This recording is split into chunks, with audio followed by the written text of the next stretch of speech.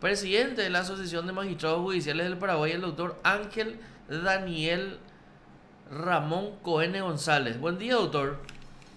Buen, día, Marco, para vos, para la audiencia de este Digital. Un placer saludarte y creo que es muy oportuna tu, es muy oportuno tu llamado. Estamos este, preocupados, estamos consternados por, por la manera en que la Corte Suprema de Justicia en estos casos ha actuado en razón de que eh, en varias oportunidades la Asociación de Magistrados Judiciales de Paraguay ha remitido este, sendas notas, hemos emitido comunicados señalando y significando de que no se le puede dejar a ningún operador de justicia eh, sin, sin señalarle el motivo, la causa de su, de su, de su suspensión o de su cesación de cargo, como en este caso ocurrió con Mario Soler consorcios y consorcios. Independientemente de que eh, puede existir algún inconveniente, yo creo que hemos exigido en reiteradas oportunidades a la Corte Suprema de Justicia, tenemos documentos, tenemos instrumentos que avalan de que se le dé una oportunidad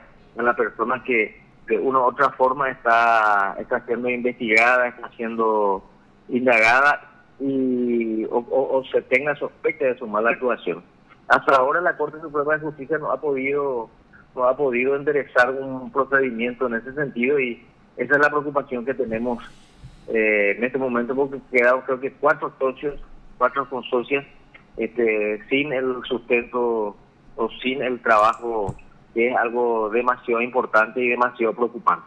Rosalina González Hernán Centurión, eh, Miriam Rivas y Claudio Martínez fueron los que ayer no fueron confirmados. Hablamos antes, que, antes de hablar con, contigo, doctor, con Rosalina González. Y ella nos decía, yo soy doctora en Derecho por la Universidad Católica de Asunción, eh, tengo varios cursos, soy licenciada en Política y Gestión eh, eh, Estatal. A ver, tengo 650 puntos, mi foja de servicios es impecable, no tengo denuncias ante el jurado, no tengo denuncias ante la corte. Sumarios. No tengo sumarios, no, no llego, ahora me retiro fuera de, tiempo, del tiempo establecido. O sea, no, yo no hice absolutamente nada malo. Entonces decíamos acá con Mauricio y con, los demás colegas acá de, de, PDS, en este tipo de casos donde se le deja fuera a un magistrado, se tiene que fundamentar por qué le estás dejando fuera de su trabajo. En cientos de oportunidades le, habíamos dicho eso, Marco, a la Corte Suprema de Justicia. Nos cansamos de, pedirle eh, que, que sea así, que se justifique eh, un trabajador común para ser despedido tiene que tener un motivo un motivo para ser despedido. En este caso es un trabajador este calificado, ¿verdad? Independientemente de, de, cualquier circunstancia que pueda afectar, yo creo que se tiene que respetar el derecho a la estabilidad. Y mientras no tengamos esa carrera carrera judicial, este va, vamos a seguir en esta en esta instancia. Pero también yo quiero hacer hincapié en lo siguiente, nosotros nos preocupamos este, constantemente de este hecho, pero de manera aislada, Marco. Yo les insto a los colegas que acompañen esta lucha, que vengan a la Corte Suprema de Justicia, cuando nosotros les convocamos para que vengan a hacer sus respectivas protestas, que no solamente le, le, culpa al presidente de la Asociación de Magistrados o a la Asociación de Magistrados, a sus, a sus este, dirigentes, que nos acompañen con firmeza, con fuerza que no teman cuando existe un derecho conculcado.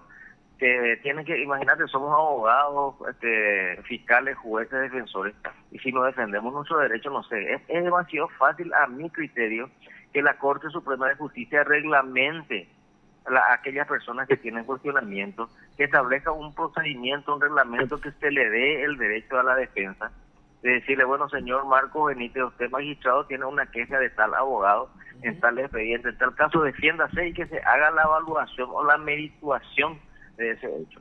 Esa es la, esa es la manera que creo yo que desde la asociación yo le invito a la gente que se sumen a esta cruzada, que se, que, que, se le diga a los ministros de la Corte en los eventos que nos encontramos que es una inquietud generalizada, no es una inquietud del presidente de la asociación, es una inquietud que todos los socios y socias me hacen llegar a mí y que en, los momentos determinados también hay que reconocer que eh, los socios tampoco le dicen por el solo hecho de que son sus ministros superintendentes porque están concursando en terna. Esa es una realidad, Marcos.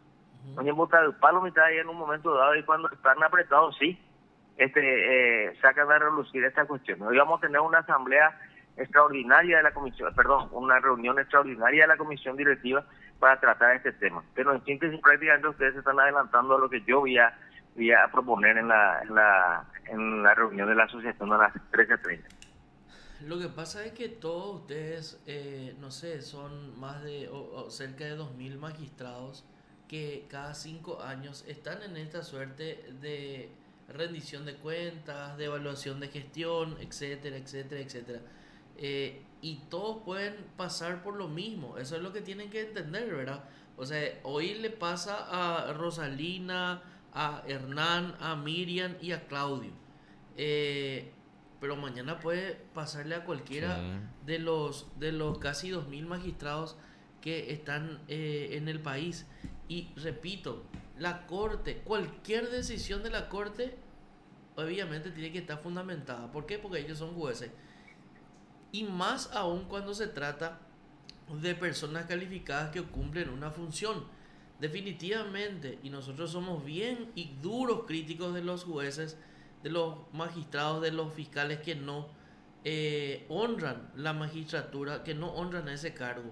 Pero en este caso, en, en los cuatro casos, en ningún, en ninguno de estos, de esto, de estas ternas se dijo, por ejemplo, que eh, Hernán Centurión es una persona que llega tarde, que tiene tres, cuatro sumarios, que firmó dos o tres eh, resoluciones que fueron declaradas inconstitucionales en el año. Eh, lo cual pasa con otras magistradas que justamente ayer sus ternas no fueron tratados. O sea, eso sí que llama más aún la atención. Pero bueno, vamos a lo puntual y a, a, a, la, a ver un poco a lo que le pasa a tus consocios, doctor. Entonces, ¿a qué hora es la reunión eh, de la comisión? A, a las 13.30, Marcos. Es la reunión de la comisión directiva, por eso te dije que era muy oportuno oportuna tu, tu llamada oportuna tu llamada y Doctor. lógicamente hizo a todos que nos unamos en esta cruzada. Demasiado veces ya hemos remitido notas a la Corte Suprema sin ningún, sin ninguna respuesta eh, comunicados. La gente quiere que se realice un comunicado específico sobre un caso determinado. Nosotros no solemos hacer sobre un caso determinado. Hoy por ejemplo yo no voy a individualizar las personas que quedaron Este, fuera del fuera del sistema de acuerdo a la resolución de la Corte. Pero sí, este, este nos puede tocar a todos, como vos, vos dijiste, y tenemos que estar unidos, porque si no, no se nos va a respetar como asociación, ni como magistrados, ni como operadores de justicia defensores fiscales. O sea que este es el momento oportuno para este que podamos verdaderamente eh, decirle a la, a la Corte Suprema de Justicia, hagan un procedimiento, establezcan un procedimiento denle la oportunidad de derecho a la defensa al socio o a la socia. Vean ahora vamos a con contigo la este ministro Jaguares este olla pota la olla posea. No, no. O sea, que esa es, una, esa es una, una opinión muy personal y responsable mía. Ok, ok, se entiende, doctor. Eh, ¿Esa reunión va, podemos asistir? ¿La prensa puede asistir o, o va a ser una reunión entre ustedes nomás, doctor? Y no sé, no, no, te puedo decir, yo no tendría problema, Marcos, que usted asista, pero no creo que es una reunión de la comisión directiva. Ya. No hay un tema este que es público, es un tema este prácticamente nuestro, ¿verdad? Eh, lógicamente que después vamos vamos a vamos a ver qué es lo que podemos este, informar a la prensa. De todos Te pido por lo de, menos de, de todo que me exonere de, de esta respuesta. De todos modos vamos a estar cerca de por ahí, podemos hacer algunas tomas, alguna alguna entrevista. Sí, en, en, directo acá con Raúl Ramírez, con Liz Acosta y o si no con Marta Olmedo y con Lucas Saracho en sus respectivos programas. Y te aclaro, Marco, que es una reunión este virtual, este, eh, es mixta. Eh, eh, como le dicen ustedes, este, creo que este, va a ser presencial y, y, virtual al mismo tiempo. Ya, híbrida, ya, mi, híbrida mixta.